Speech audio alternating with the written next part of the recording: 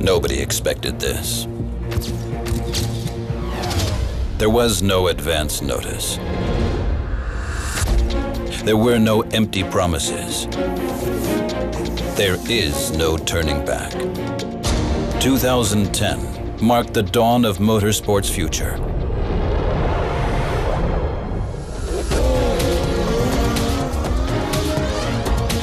With the 911 GT3R hybrid. But that is not enough for us.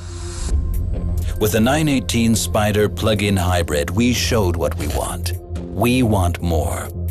Want to see how far Porsche intelligent performance can go.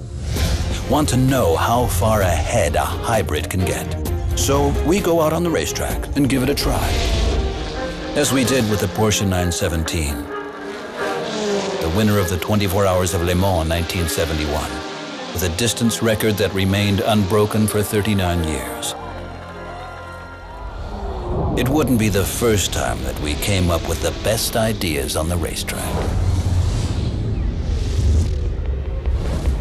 Result?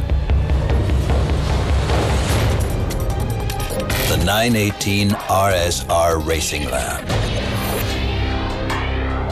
A technology demonstrator, torture tested under the most severe conditions for the future of motorsports and production cars. In styling, it emulates the 917. In engineering, it will be the one that's emulated. Once again, nobody had expected this. The 918 RSR Racing Lab. Torture test, the future.